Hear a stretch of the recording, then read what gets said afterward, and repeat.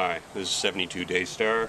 Just getting ready to take a look at the moon with my, this is my 66 millimeter uh, Williams Optics refractor, and I have that on my Williams Optic EZ Touch mount, along with my ETX 90. It's just the field scope, just the OTA, tube assembly. Uh, but they work well together. This has very narrow angle of view, very high magnification. This has a very wide angle of view. I use it with a 2 inch 33 millimeter eyepiece. It makes for a good system. I can find it here, take a close look if I want here. So, but first I got to clean my lenses and then I'm going to get to it. Okay, I think we're back in business here. I've got my laptop. Um, here's one of my favorite guys on YouTube, Conference Report. He does philosophy. Great guy. If you want to subscribe to him, Conference Report. Good stuff. If you're into philosophy. Anyways, I brought this out. I brought this out so that I could use one of my uh, step out of camera here for a moment. Another great service for amateur astronomers. Hi doggy. Moon, virtual moon atlas.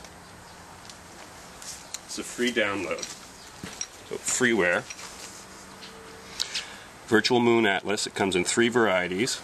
Okay, and it shows you where the moon is right now. So I can see this is the area that's going to be interesting along the terminator.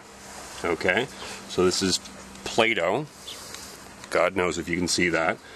And another area that might be interesting is down here where we have Clavius, which is a really great formation. So that's kind of our goals there. Very modest goals, just to take a look at what Plato looks like and what Clavius looks like. This is the formation here. See the terminator here. And also notice these small craterlets. Well, this is a full-fledged crater here, but these would count as craterlets. Hi, doggy. Within the much larger Clavius. Again, here's Plato it's distinctive because the floor is much darker than the surrounding floor of the uh, Mare and the mountains, the highlands that are around it. So it should stand out fairly easily too. You can see these things in a pair of binoculars. It's really not that difficult.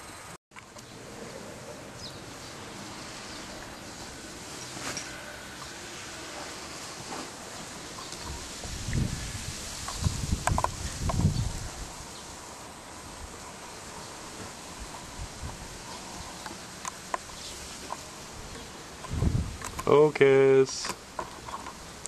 Ah, there. That's pretty focused. Okay, so there's where we're going.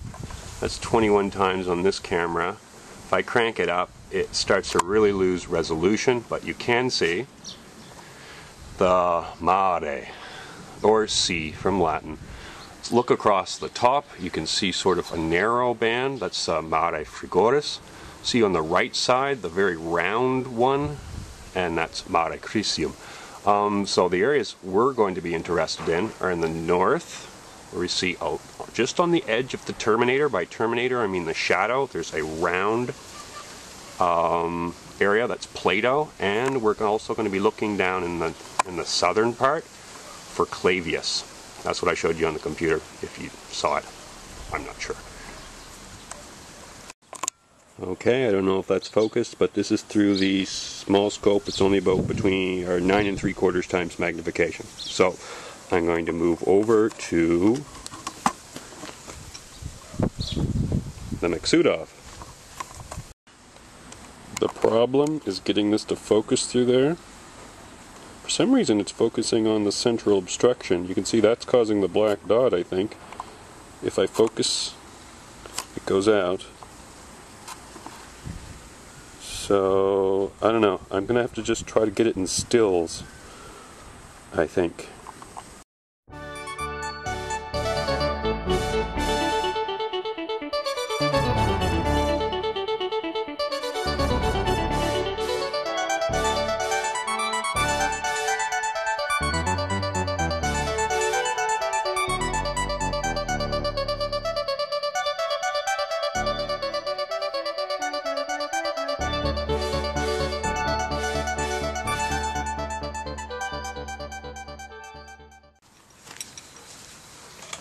People often comment, and uh, other um, other YouTubers that do uh, astronomy, they always say, "What's it going to look like compared through the camera, through the eye, uh, with your naked eye?" The planets and moon, you can't get as good as actually looking through the lens through a camera.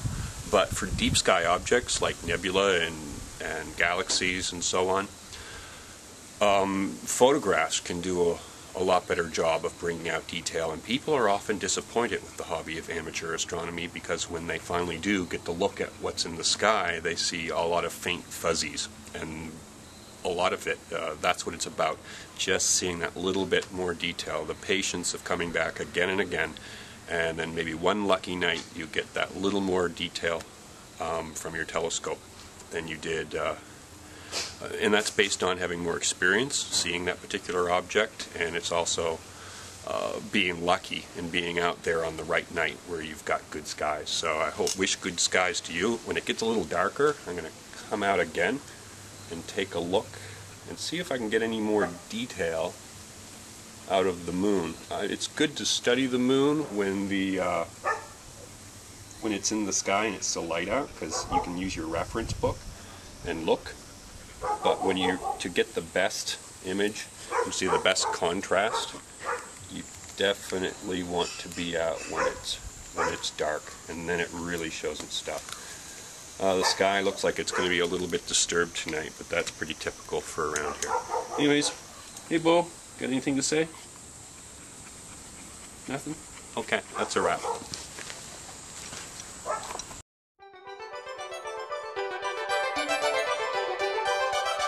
うん。